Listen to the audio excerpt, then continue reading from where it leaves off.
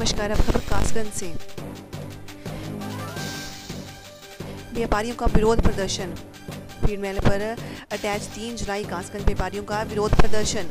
GST में जनपद स्तर पर लागू किए गए ई बिल की समाप्ति और अन्य जीएसटी कानून में संशोधन को लेकर कासगंज उद्योग व्यापार प्रतिनिधि मंडल के कार्यकर्ताओं ने आज मंगलवार को विरोध प्रदर्शन किया। साथ ही उन्होंने जिलाधिकारी के माध्यम से योगी सरकार को छह सूत्री ज्ञापन भेजकर निस्तारण की मांग उठाई।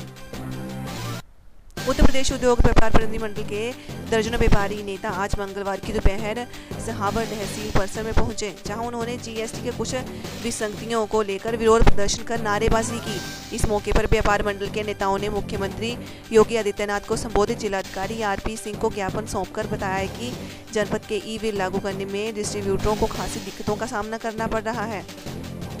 जबकि अन्य प्रदेशों में ज़िले में ई बिल व्यवस्था समाप्त कर दी गई है। उसकी तर्ज पर जनपद की सीमाओं में माल लाने में ई बिल का मुक्त किया जाए। जीएसटी के समाधान योजना के लिए एक करोड़ से बढ़ा कर डेढ़ करोड़ की घोषणा की गई है, परंतु उसका आज तक कोई सर्कुलर जारी नहीं किया गया।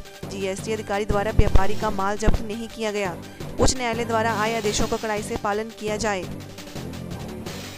काजगंज से सैटेलाइट इंडिया के लिए राहुल कुमार की स्पेशल रिपोर्ट।